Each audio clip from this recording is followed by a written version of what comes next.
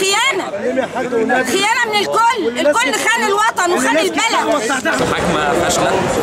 آه، ترشح شفيق طبعا ده شيء فاشل لأن مفيش قانون. القانون لسه طالع إن هو المفروض ما يترشحش وبعد كده يترشح. لأن المسرحية الهزلية النهارده اللي حصلت دي بيضحكوا بيها على الشعب. فمطلوب محكمة ثورة.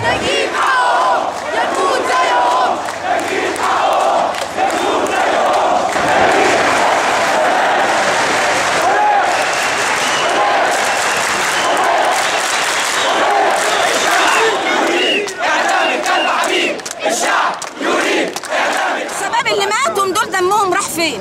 مين هيجيب حقهم؟ مين هيجيب حقهم؟ كل اللي قتلوهم طلعوا براءة ينفع الكلام ده؟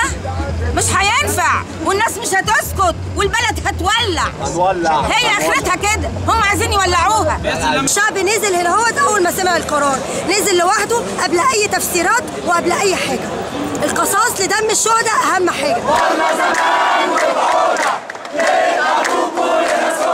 اللي أنا شايفه إن دلوقتي في المشهد كله دلوقتي بيدخلك يا تفكر يا ده يا ده. مش قادر يدي فرصة للناس تعرف تفكر بآليات مختلفة. دلوقتي إحنا في مأزق.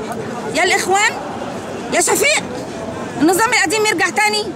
هنرجع تاني لورا؟ مش ممكن مش هيحصل. والله لو على رقبتنا كلنا.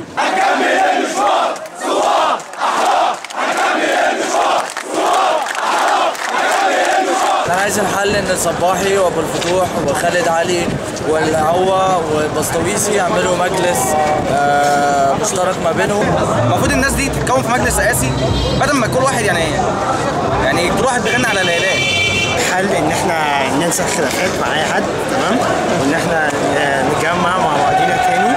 ويكون مهمة ال- المجلس دوت إن يمسك البلد لفترة انتقالية.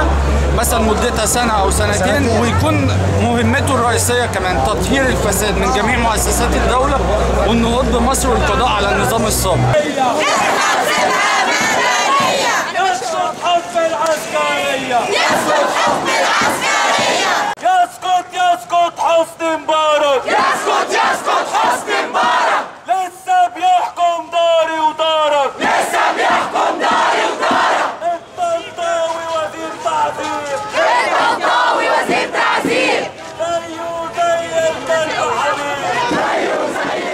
دلوقتي طلعت قادة من الصناديق.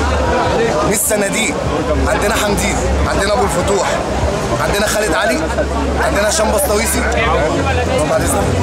عندنا دكتور محمد مرسي وهو لازم يبقى في مجلس سياسي مدني. إحنا ما بنقول مجلس سياسي مدني إحنا بنوحد قوى الشعب عامة. بس هم يتصدروا المشهد. والله الحل أنا شايفاه إن هم يتجمعوا يبقى في اتفاق على مجلس رئاسي واحد. يعني يكونوا مجموعة.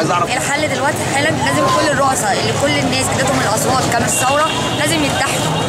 لازم يتحدوا وده حل. إن إحنا غيرنا أنا ما ينفعش أروح أدي صوتي لحمدين أو الفتوح أو خالد علي أو بسطويسي أو أي حد من الثوار وفي الآخر يسيبني غرقانة ويسيب إن شفيق أو مرسي هو اللي يجي يمسك الحكم. فلازم الناس دي تتحد وتنزل قرار وتعمل مجلس رئاسي مدني ويتنفذ.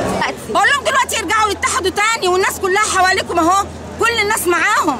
بس هم لازم يبقوا أقوياء. لازم يبقوا بل... يعني مصلحة البلد قبل مصلحتهم. Paso